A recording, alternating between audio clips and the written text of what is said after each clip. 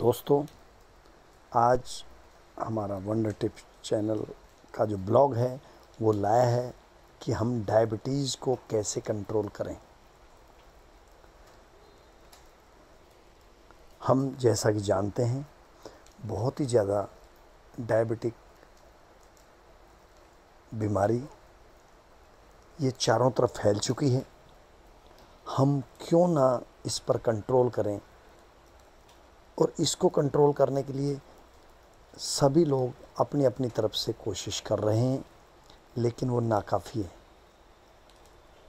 सबसे बड़ी चीज़ डायबिटिक में डॉक्टर सबसे पहले कहता है कि आप वज़न कम करो। आप जो है खाने पे कंट्रोल करो। आप मीठा ना खाओ। आप एक्सरसाइज करो। लेकिन ये सब कुछ जानते हुए भी क्या हम करते हैं? ये सबसे बड़ी विडंबना है। तो दोस्तों, मैं ये चाहूँगा कि कल से ही आप ये स्टार्ट करें। और कल से भी क्यों आज से ही जैसे आज शाम को आप आएँगे ऑफ़िस से, थोड़ा सा खेलिए या इवनिंग वॉक करिए।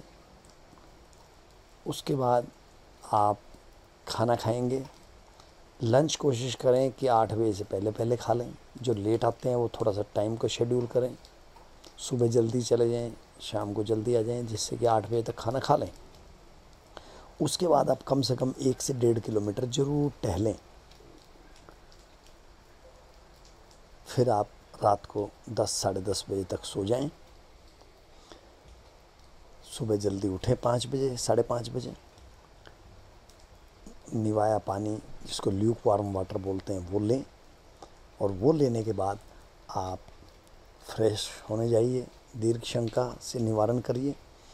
फिर आप अपना ब्रश वगैरह करके एक्सरसाइजेज का जो अभियान है योगा से शुरू करें। फिर मॉर्निंग वॉक करें। और रिगरस ये मान के चले, एक से डेढ़ घंटा आपने अपने शरीर के लिए देना है। फिर आपने अच्छा ब्रेकफास्ट किया। ब्रेकफास्ट में कोशिश करें परौंठे ना लें। हफ़्ते में पंद्रह दिन में एक बार हो जाए तो चलेगा। तला हुआ बिल्कुल ना लें। कॉर्नफ्लेक्स ले सकते हैं या कुछ भी। आप फल फ्रूट्स जूस मिस्सी रोटी, बहुत चीज़ें हैं जो आप ले सकते हैं। उसके बाद आप निकल जाइए ऑफ़िस के लिए।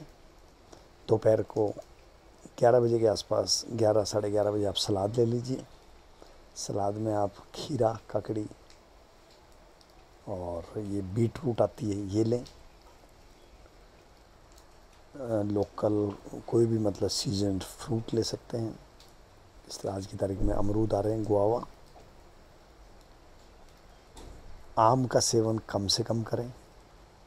फिर आप करें दो बजे अपना लंच डेढ़ से दो बजे। एक बजे भी कर सकते हैं। लंच में दो चपाती, दाल। दही रायता इस तरह की चीज़। मतलब घर में जो हमारी लेडीज़ हैं, वो ये ज़रूर ध्यान रखें कि किसी भी हालत में कम से कम तेल, घी का प्रयोग करें छोंक के समय सब्जियों में। बिल्कुल भी ऊपर, कई जगह तो मैंने देखा है कि सब्ज़ी के ऊपर तेल ही तेल तैरता रहता है, जो मार्केट से मंगाते हैं अक्सर। बिल्कुल मना कर दें ऐसे खाने को।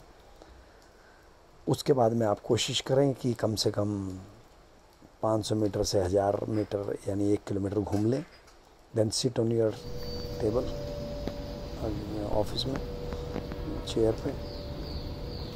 फिर आप शाम को आए घर, जैसा मैंने बताया, वो शेड्यूल अपना ये खेलने का, खाने का, और थोड़ा थोड़ा हर दो दो घंटे में कुछ ना कुछ खाते रहिए। लेकिन तला हुआ ना खाएँ, मीठा ना खाएँ, और मैं आपको बता दूँ कि आप देखेंगे कि जब आपका वज़न कम होना शुरू हो जाएगा आपका डायबिटिक बढ़ना बेटर होना शुरू हो जाएगा और आप माप लें पहले दिन और फिर आप हफ, हर हफ़्ते आप उसको मेज़र करते रहें। तो दोस्तों, ये वीडियो ये जो था ब्लॉग लिखने का मेरा एक पर्पज़ था थ्रू दिस वॉइस कि भाई मेरे जो मित्र हैं, वो सारे अलर्ट हो जाएँ। बीमारी बहुत बड़ी नहीं है, लेकिन ख़तरनाक है। कंट्रोल कर सकते हैं हम इसको।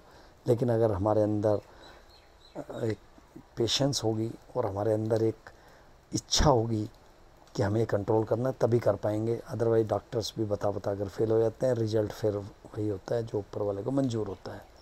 तो इसको आप ध्यान रखते हुए आगे बढ़ें और हम इसको रिव्यू करेंगे एक महीने के बाद करीब करीब थैंक यू